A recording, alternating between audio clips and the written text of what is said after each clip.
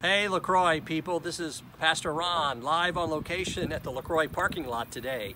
Um, it's Friday when I'm shooting this and it was supposed to be raining by now and the forecast is calling for a whole lot of rain tonight, Saturday and into Sunday and interestingly, the source of that rain is a tropical storm that hit the Gulf of Mexico earlier. Tropical Storm Gordon hit around uh, uh, Alabama, Mississippi, and it brought rain and mixed with another system all the way to our area, and it's going to be dropping a whole lot here in uh, the next couple days.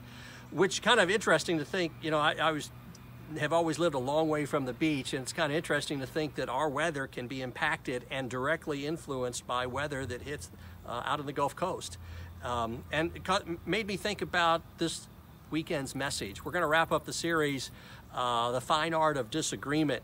And one of the things I want us to consider is where do we get our opinions? Where do we get our ideas from? Where do we get our attitudes, especially? Where, where are our attitudes being formed and shaped when it comes to dealing with people we disagree with, people who are different from us, people whose values are not anything like our own? How do we treat them? How do we respond to them? And how do we handle those disagreements? And did we learn that from Scripture? It's one of the things we've been asking in this series.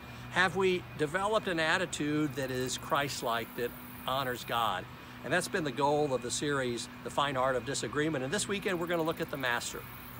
We're going to look at a story from the ministry of Jesus of how he dealt with a person who was very different from him and how he did it with such respect, such grace that uh, he won the person over. So I hope that's going to be a great model for all of us as we deal, live in these very divisive times. So look forward to seeing you in worship at one of our services uh, this weekend at Cape or in Benton. Look forward to seeing you then.